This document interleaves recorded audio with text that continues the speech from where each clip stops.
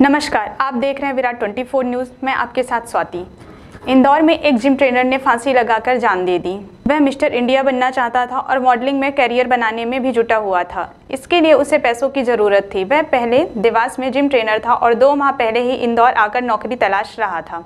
ASI भगवान सिंह के मुताबिक शुभम 27 वर्ष निवासी पार्श्वनाथ कॉलोनी ने अपनी बहन व जीजा के घर में फांसी लगा ली। घटना के समय परिवार के लोग देव दर्शन के लिए गए थे। इस दौरान उसने यह कदम उठा लिया।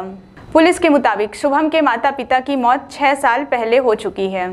इसके बाद से ही वह डिप्रेशन में चल रहा था। सुसाइड नोट और मोबाइल को लेकर भी जाँच की जा रही है।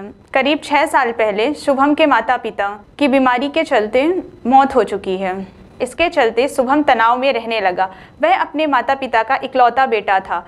दो बहनों की शादी हो चुकी है। शुभम इसके पहले तीन साल में देवास में रह रहा था।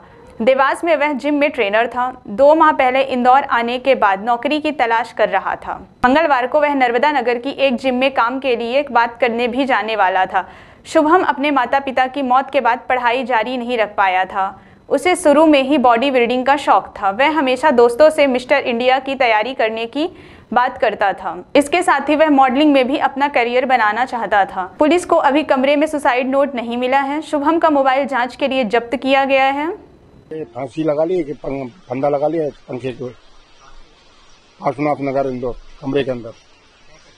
ये जिम में सर्विस करता है ट्रेनर की, जिम के अंदर। सुसाइड नोट कुछ नहीं मिला है।